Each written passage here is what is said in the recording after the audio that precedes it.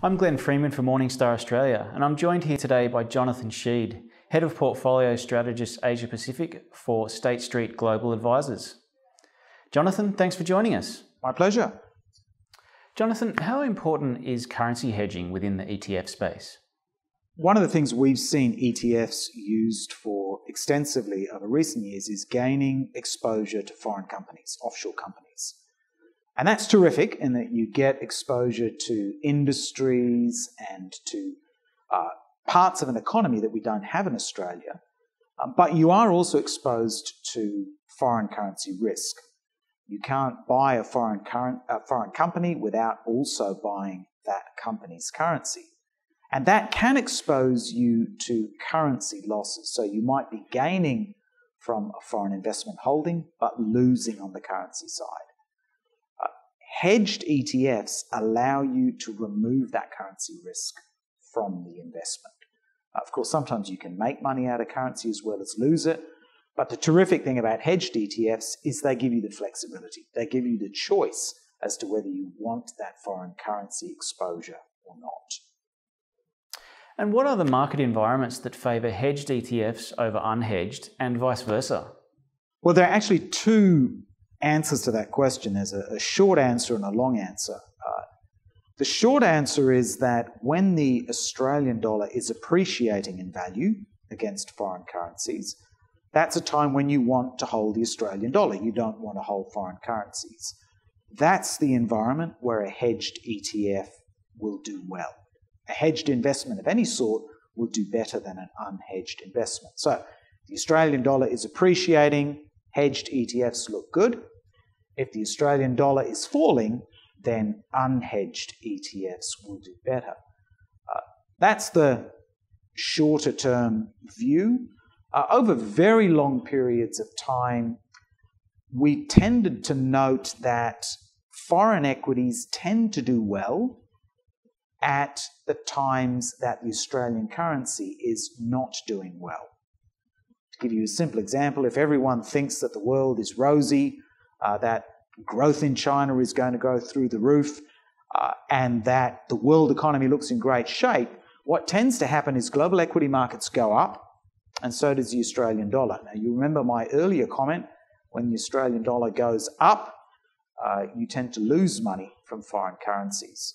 Uh, it's a long way of saying that very often unhedged ETFs tend to have currency movements that go in the opposite direction to equity market movements. So if you gave me a choice over a long period of time between having a completely unhedged portfolio and a completely hedged portfolio, I would actually choose a completely unhedged portfolio. The problem is that that's a 15 year view. And most people have a view that's a little bit shorter than 15 years. And so we come back to the first uh, point, which is Uh, on a three to five year view, do you think the Aussie is going to appreciate broadly, or do you think it's going to depreciate? And that determines your choice. Now, ETFs are just one way that individual investors can access international markets. Now, what are some of the advantages that they have over things like managed funds, direct shares, and SMAs? One of the most powerful features of ETFs broadly is that the pricing you get is live. So if you take a typical managed fund, the manager will have a cut-off time for your application for units. That cut-off time might be midday or it might be 2 p.m. in the afternoon. Uh, and if you miss that cut-off time, you get the next price. Most managed funds in Australia strike their prices late that night when markets around the world close. So if we take an example where uh, your deposit arrives at three or four o'clock in the afternoon on Tuesday. You don't get Tuesday's price, you get Wednesday's price. But you don't get Wednesday's during the day price, you get the Wednesday night price in New York or in London uh, or in Paris. Which means that the gap between when you make your investment and when you actually get your money invested can be 36 hours. Currency is something people are aware of on an hour by hour basis. And I think the most powerful thing about currency hedged ETFs is you can look at where the Australian dollar is trading now, and if that's the level you want to get set at, you can get set now. That's something that you can't really do inside a managed fund. Uh, ETFs are also administratively very simple to use. There are other techniques you can use to hedge your currency exposure, things like forwards, uh, but they're a little bit more complex to do. You need a little bit more uh, expertise to use those kind of instruments. So ETFs are very easy to use, they're very flexible, and you can look at the screen now and get set. And Jonathan, how popular are bond ETFs versus their equities equivalent? And how are they faring in the current environment of low bond yields? Bond ETFs have taken off more slowly than equity ETFs. Uh, equity ETFs, in a sense, are at home in an equity market.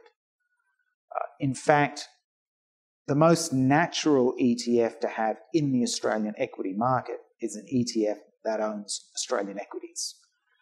Uh, extending ETFs to, in the Australian market that own foreign securities, that took a little bit of doing in the industry. Uh, similarly, ETFs on the Australian share market that own bonds, which don't trade on the share market, takes a little bit of work doing. And so we found both in terms of the products that have come out in the industry and also how people think about those products and use them, uh, it's taken a little bit longer for bond ETFs to take off.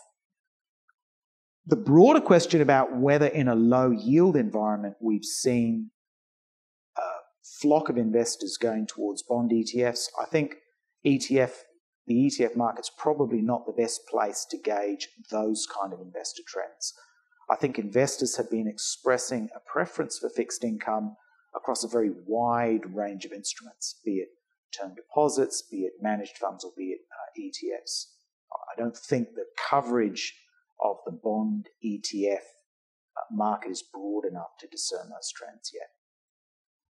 And just finally, are we currently seeing in the market volatility that money is flowing out of global ETFs into Australian ETFs, or are investors still holding firm?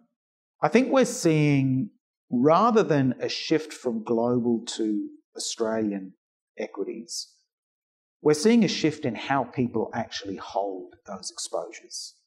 So I think the big story in the last three to five years has been the extent to which people have gained exposure via ETFs instead of via managed funds. I think that's probably been the, the big shift that we've seen.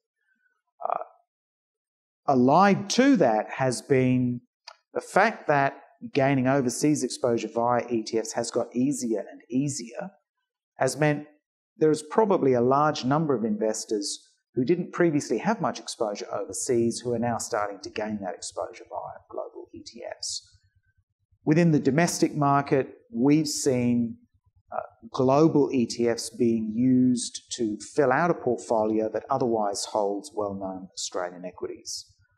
Uh, so it's really global exposure being brought in by global ETFs, I think, is the bigger trend we've seen over the last three years rather than any significant capital shift from global equities into Australian equities uh, or the other way around. Thanks very much for joining us, Jonathan. My pleasure. I'm Glenn Freeman from Morningstar, and thanks for watching.